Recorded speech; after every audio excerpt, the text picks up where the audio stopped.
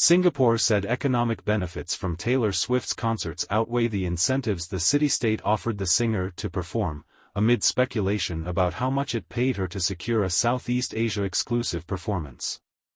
There has been some online speculation as to the size of the grant, Edwin Tong, Minister for Culture, Community and Youth, told Parliament on Monday. It is not accurate and not anywhere as high as speculated, but due to business confidentiality reasons we cannot reveal the specific size of the grant or the conditions of the grant. Speculation over the matter gained steam online after Thai Prime Minister Srettha Thavisin said Singapore offered subsidies of up to $3 million for each concert in exchange for Swift agreeing not to perform elsewhere in the region during her Eras tour.